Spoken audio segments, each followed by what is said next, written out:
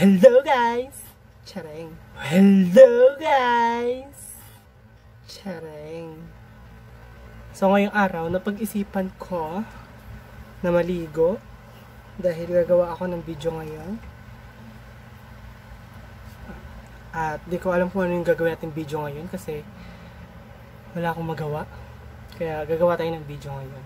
Basta kahit ano yan, tsaka natin isipin yung title. So una, gagamit muna ako ng nito, Garnier. Kakabili ko lang nito sa Watson.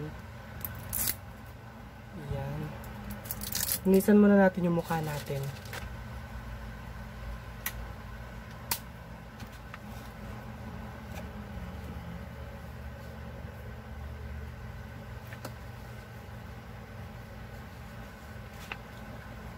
Ayan, habang naglinis na yung mukha, isi-shoutout ko pala yung classmate ko.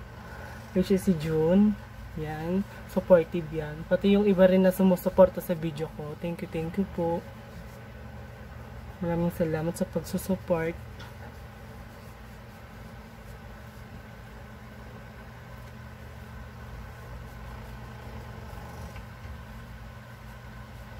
And then, gagamit ako ng tinted moisturizer from Quick FX. Wala siyang shade na nakalagay. Pero maputi siya sa akin eh. Kaya, konti lang nilagay natin. Lagay na natin siya direkta. Watery consistency nito ha. Ayan na siya. Okay lang yan. Consistency neto ha. Ayan na siya.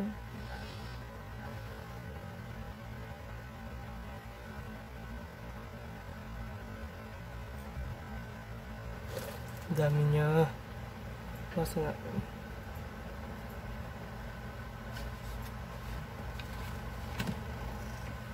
Sobrang watery na consistency niya.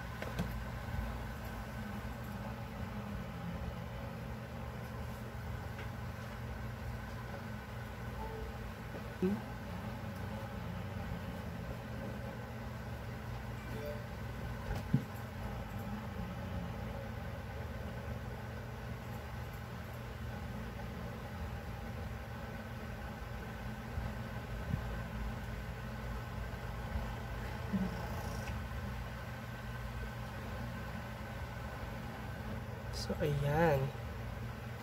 Okay na tayo. Let's move on. So, sa foundation na gagamitin natin is ito. Fit Me na foundation in the shade Soft Tan. Nung una ko itong binili, di ko alam kung ka-shade ko siya. Pero nung tinry ko siya, maputi siya sa akin. Kaya tignan natin ngayon. Naka-quarantine tayo. Tignan natin kung pumuti ba yung mukha natin.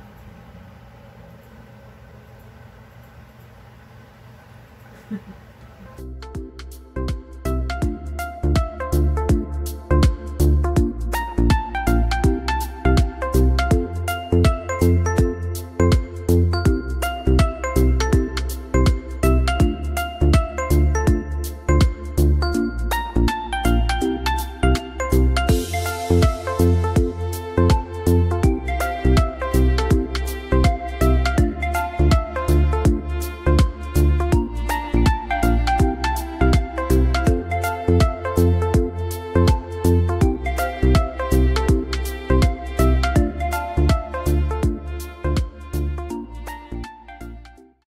Then, kukuha ko ng sponge, tapos i-blend na natin siya.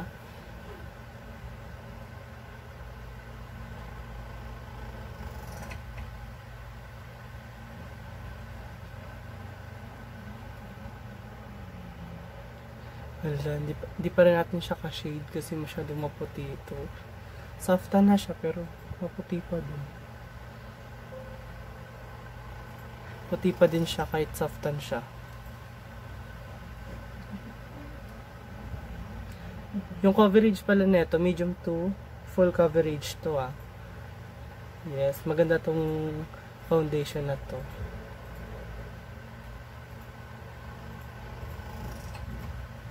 Pwede nyo rin siyang i-build up kung gusto nyo ng full coverage or pwede kayong gumamit ng brush kung gusto nyo ng full coverage na effect nitong foundation na to. So, hindi kasi ako sanay gumamit ng brush pag nagbe-blend ako ng foundation. sponge ako lagi, kaya sponge tayo.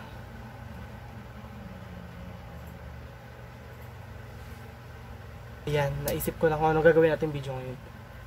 Gawa tayo ng video tungkol sa mga affordable makeup for beginners.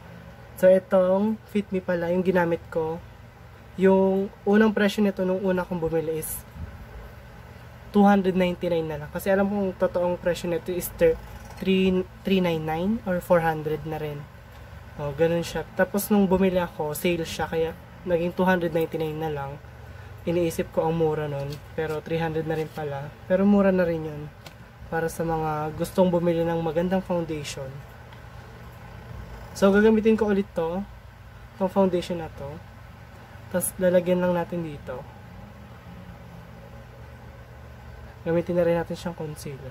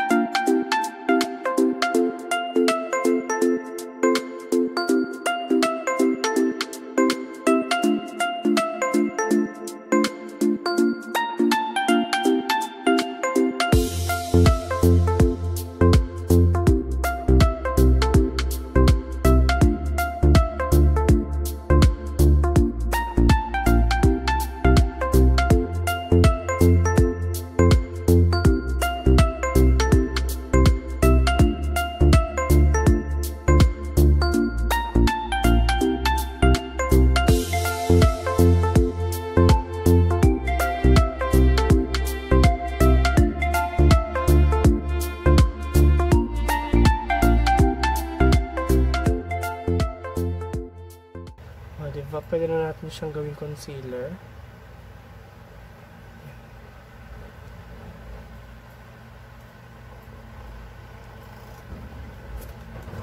So, sa powder, ang gagamitin natin is ito. Johnson's Baby Powder. Mura lang to. Siguro mga nasa 16 or 18 or 20, ganun. Basta, hindi siya siguro aakit ng 20 pesos pataas.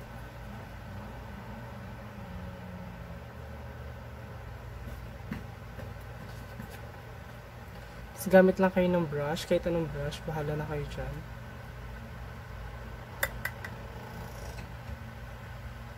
Tapos, iset nyo na lang.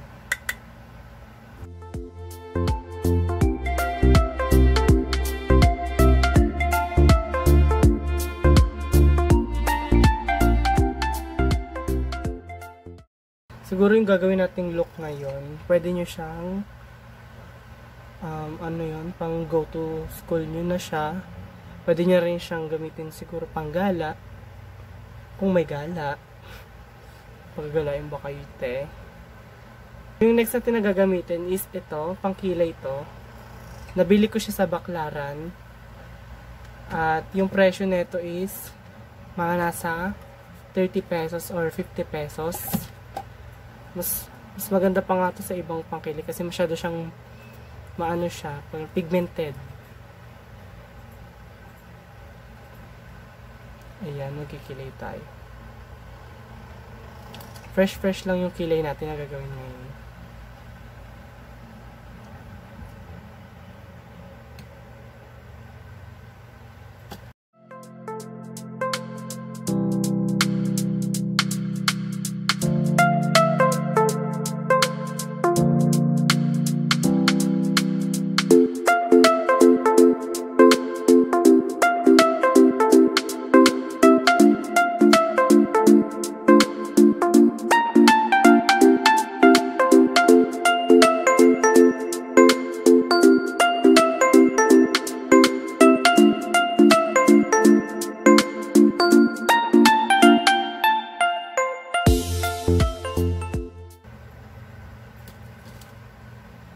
So, ngayon maglilinis tayo ng kilay natin.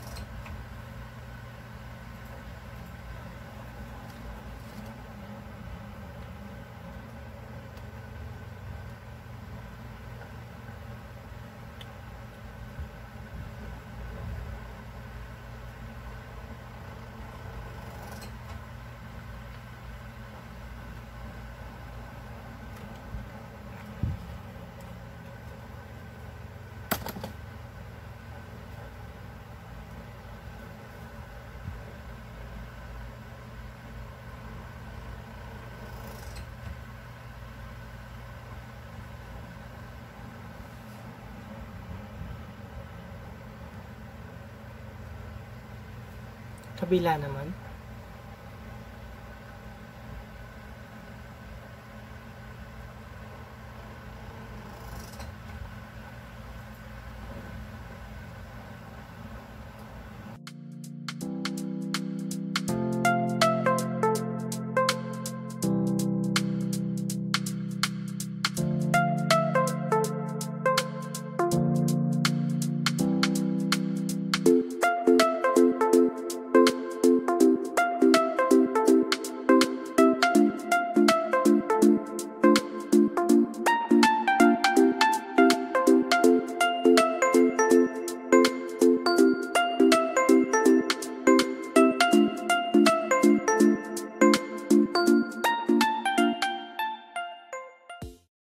So, ito yung gagawin natin una nating shade from Vice Cosmetics.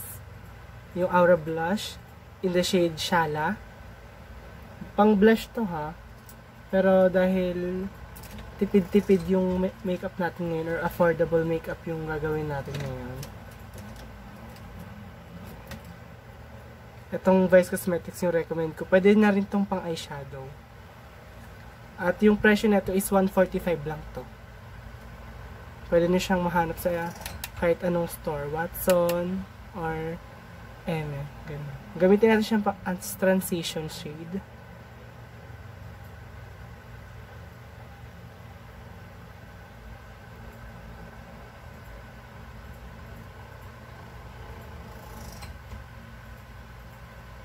Diba? Pigmented siya. Nalaban.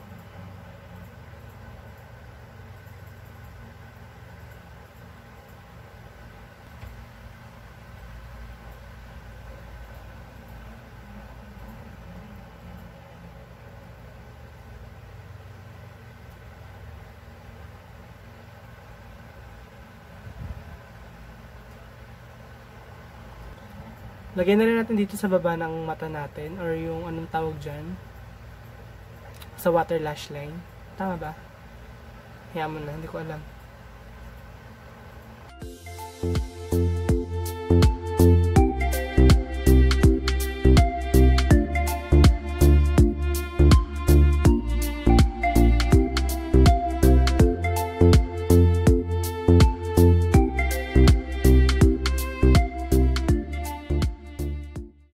next na gagamitin natin is ito.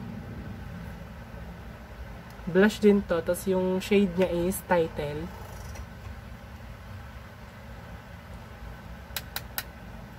Lagyan lang natin siya dito sa may outer corner ng mata natin.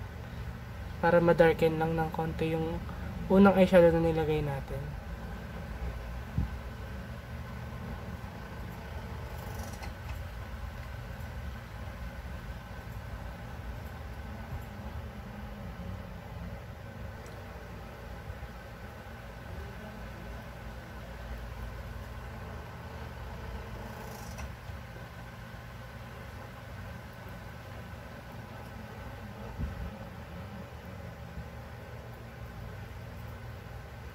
Then, kuha lang tayo ng ganitong brush. Tapos, i-dip ulit natin siya dito sa title. Tapos, lagay lang natin siya dito.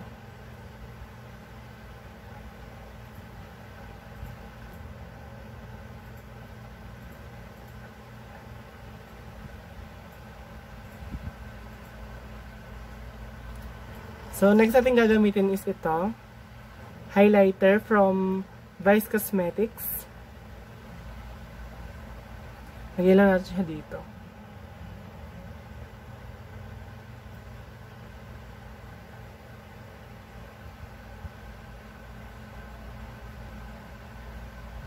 Ganyan lang natin siya niyan. Para hindi siya magmukhang matte. Gusto ko yung medyo may shimmer-shimmer ng konti.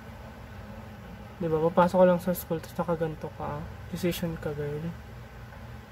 Na magmamaskara na tayo. Gagamitin natin tong Lash Define Waterproof Mascara for top and bottom lashes from EB Advance.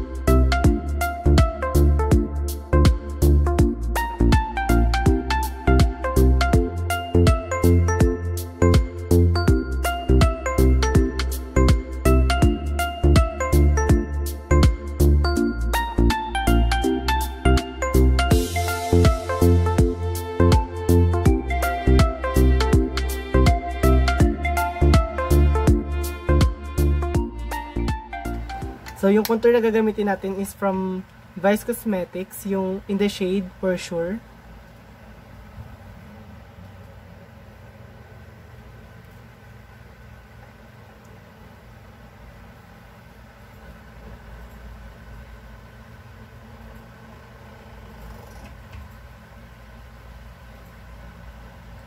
Ayan, ganyan lang. Konti lang lagay natin. Dahil fresh-fresh lang tong makeup natin.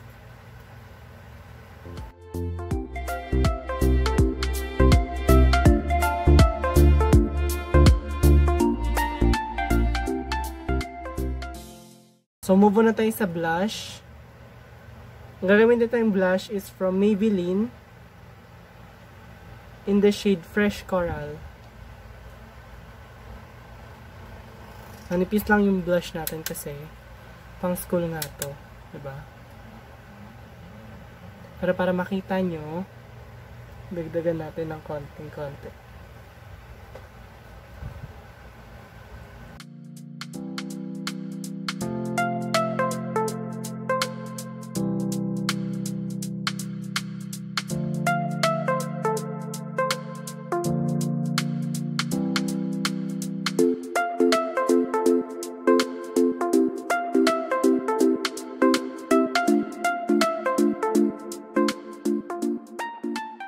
Mag-highlight na ulit tayo.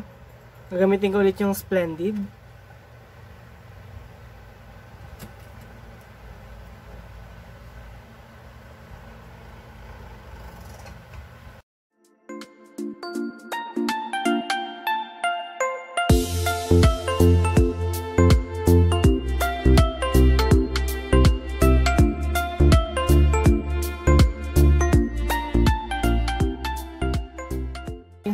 Lang sa ilong.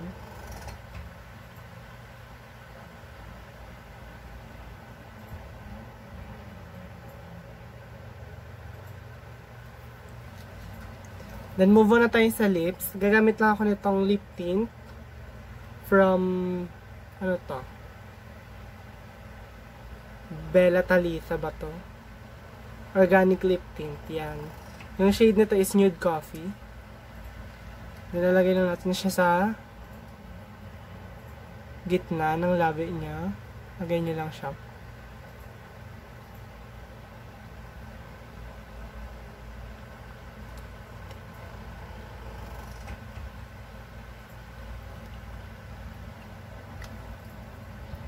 Yan. Then, kuha lang kayo na, nung sponge na ginamit nyo.